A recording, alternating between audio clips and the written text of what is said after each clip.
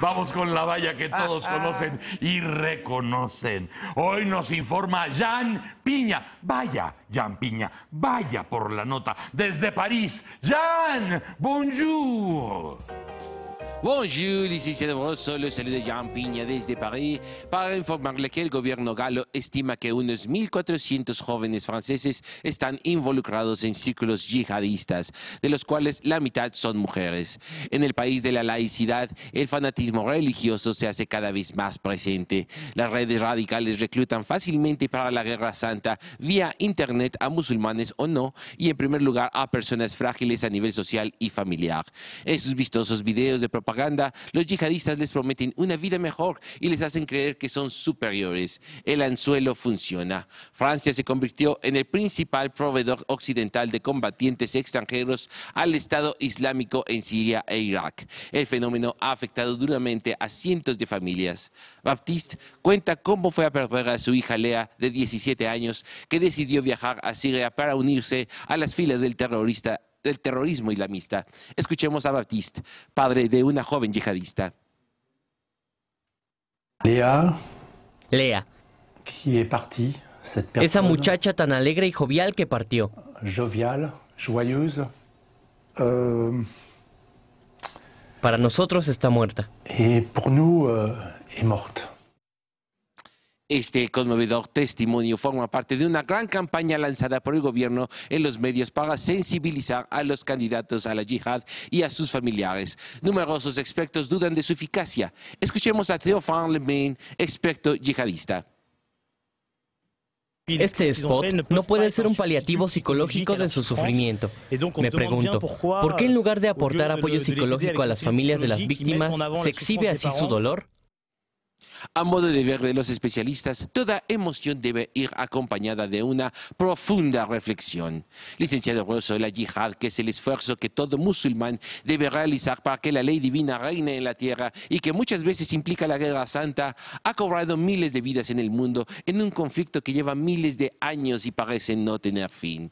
Informó para Le Matiné, Jean Piña. Oye, Jan, ahora que nos estás contando esta circunstancia, eh, no es el único país donde está sucediendo este tipo de fenómeno. Ya, ya son varios países donde las, las filas, vamos a, des- vamos a llamarle del islamismo local, en vías de la yihad, empiezan a, a nutrirse de jóvenes de la localidad, en este caso París o, o Reino Unido. Ta- también en América Latina no se ha sabido tanto, pero sí en Estados Unidos. En Estados Unidos, sí, licenciado. Y Francia ha sido además motivo y lamentablemente de, de ataques terroristas Sí. muy continuos. Y además Francia bombardeó al, a la- al grupo islamista, ¿no? Esta- esta- Entonces hay una pugna Bueno, es terrible. lo que eh, el Estado Islámico eh, acaba de, de mencionar con los ataques rusos. Así es. Claro. Y Sí, acaba de decir pues, de sobre Estados días, Unidos y sobre sus aliados, Eso es. Que son el Reino Unido y que son Francia de entrada, ¿no? Tienen- los tienen dentro del, del Y país. 1.400 eh, franceses que están ingresando a estas filas no es una cifra pues muy baja, que digamos, 1.400. No, no, Impresionante. no, desde ¿no? luego que no. Claro. Y sí, eh, eh, porque además no es el único conflicto interno, ¿no? Sí. Hay más conflictos internos y que tienen que ver con otras conexiones en el mundo. ¿Cómo? No sé, a lo mejor finalmente le pasa a todos esos imperios que alguna vez fueron colonizadores ¿Cómo no? y que de pronto, pues después también se, se, se- se voltea mucho de, de esa historia, ¿no? Eh, por cierto, este, Jan, Dígame, ahora que estás en París, quiero decirte Sí. que eh, te vamos a encargar la cobertura, si eres tan gentil. Eh, ¿Conoces la Casa de América Latina, ahí en París? Eh, por, supuesto, licenciado. Ahí en la Casa de América Latina, eh, mañana viernes 16, Ajá. va a dictar una conferencia Andrés Manuel López Obrador Muy bien, licenciado. Para que hagas eh, la cobertura. Se llama la conferencia La lucha por el renacimiento de México.